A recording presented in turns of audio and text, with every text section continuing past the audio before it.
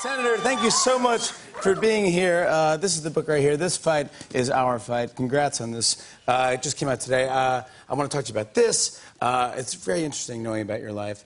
Uh, but I also want to know uh, just other things that's happening in the world. Let's talk about the Democratic Party. Because Okay. now, uh, w- what is the plan? What is the plan for the next for the next four years, or for the Oh. next, for the future? Or for what, what, what, what are you thinking? What is the focus? So for me, Yeah. look, it's three things. The first one is we got to be in the fight. We Yeah. cannot lay down and play dead. We got to be in this fight. Yeah. You bet.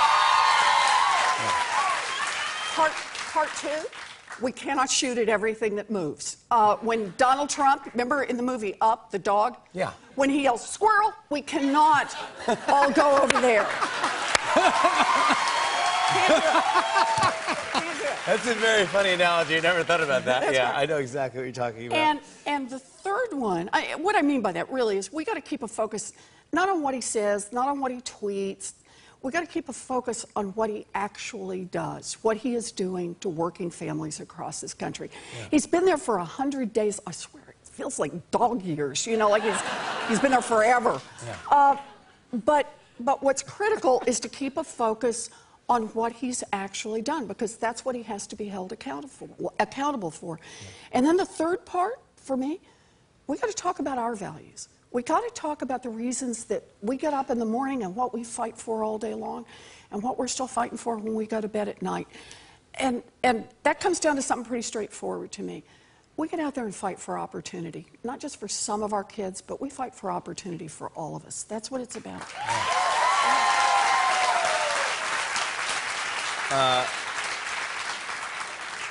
I, how is it working with uh, the GOP and uh, are people uh, reaching across the aisle? I mean, because every we have different politicians on, and they always go like, "Well, I want to try to work with the other side, the Democrats and Republicans working together."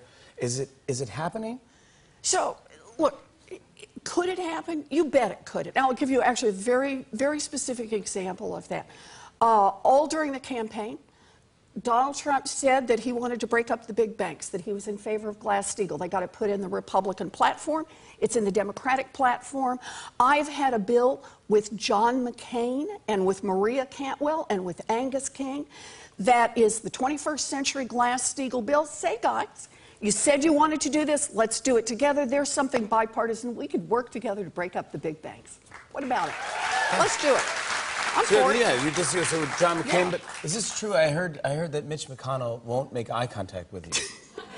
is that real?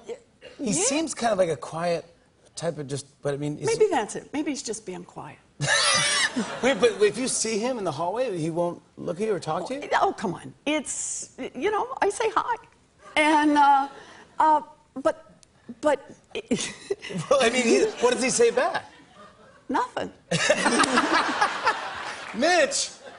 Mitch McConnell, you have to say hi to Elizabeth Warren. That's come on. How old are we now? This is silly. You have to be civil. Let's do this. We all have to work together here. Yeah, we do have to work together. This is crazy. Let's. Well, this fight is our fight. What is what is the fight you're talking about here? This, this is the fight about how we rebuild America. So look at it this way.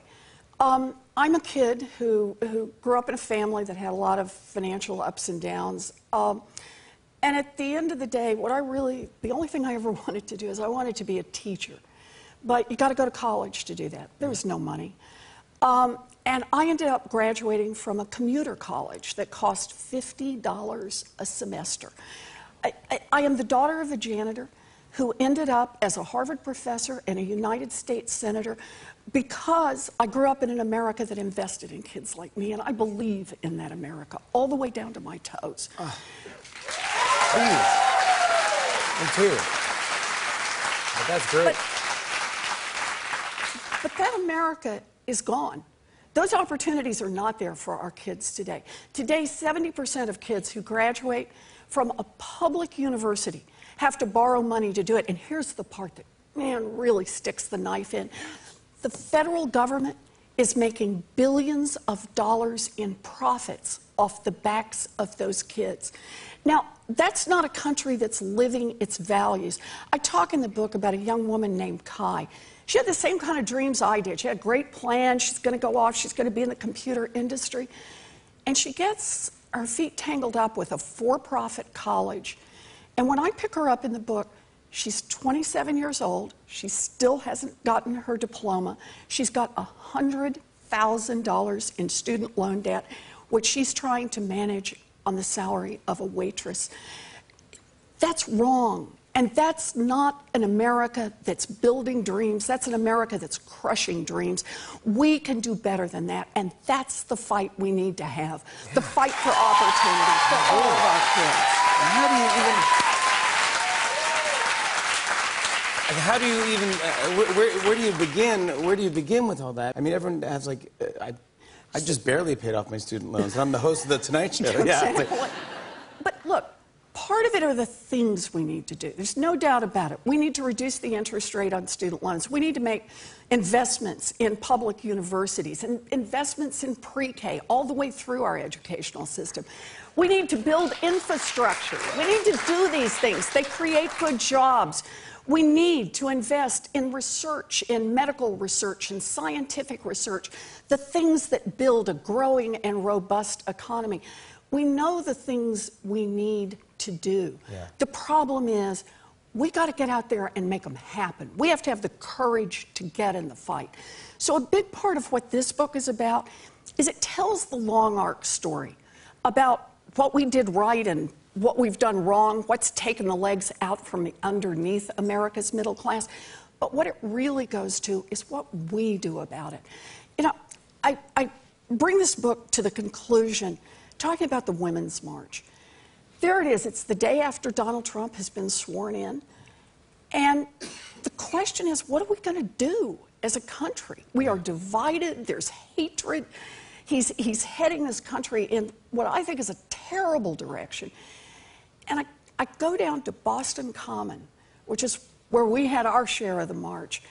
And I'm, I'm in the car and I'm thinking about how are we going to build an army? How are we going to make our voices heard?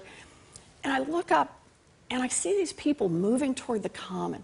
And it's women in pink pussy hats, and it's, it's men pushing strollers, and it's kids on bicycles, and they're all congregating in Boston Common. And I look over and I see this man, and I see this little girl up on his shoulders, and she's got this hand lettered sign.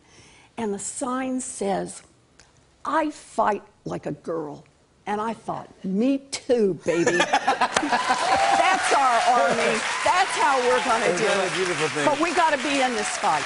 yeah, Yeah. yeah. We can do No, this. No, it's we got to be in it. And I talk about a lot of ways to get in the fight. Because here's the deal democracy is not a machine that will go of itself. We can't just say once every four years, you know, okay, now it's time to start thinking about it, a few policies and so on. No, the world has changed in Washington. It's not only that the legs have been taken out from underneath hardworking families, middle class families, working families, the working poor, the poor poor. It's more than that. It's that Donald Trump and the Republicans are now poised to deal a blow to the middle class, to working families from which they will never recover. And that means we've got to be in this fight.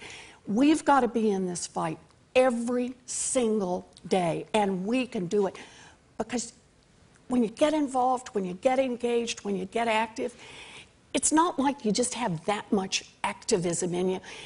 It's that when you start to do it, you do it a little more, and then you do it a little more, and then your sister does it, and then you get your mom into it too, and then you get your brother and your cousin and the guy behind you in the grocery store. That's how we make change. That's how democracy works. This is our time in history. is what I'm talking Oh, this is That's fun. what you- We're going to do this.